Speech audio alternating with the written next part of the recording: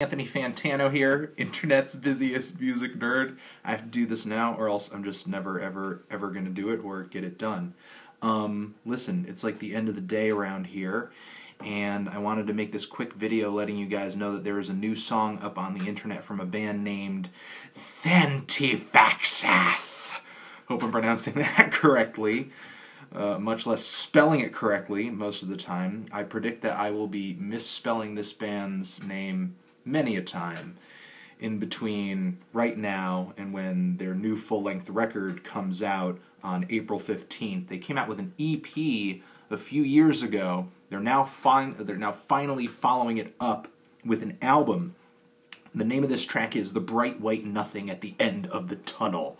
Uh, heaven afterlife reference. I'm not exactly sure there with the title, but this song instrumentally is insane. Really raw vocals. I mean, not too animalistic or ferocious. I mean, not the craziest vocals I've ever heard, but I love the bright sort of guitar leads noodled all over this track. It reminds me more of like an 80s rock tune with a guitar tone. There's all these really dissonant, very sour, weird organs. The drums are so ferocious.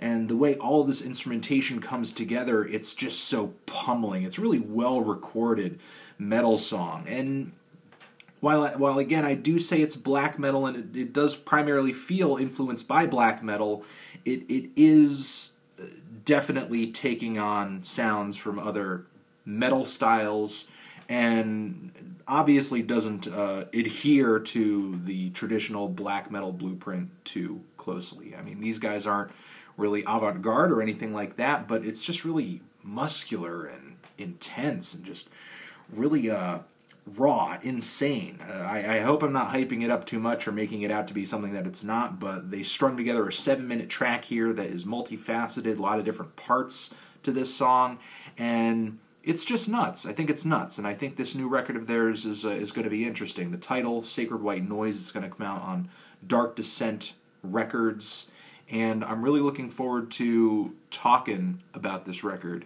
with you guys. Let me know down in the comments what you think of this song. I will leave a link in the description box to where you can hear the track that I'm talking about. And that's it. Cool? Cool. Thantifaxath. Forever.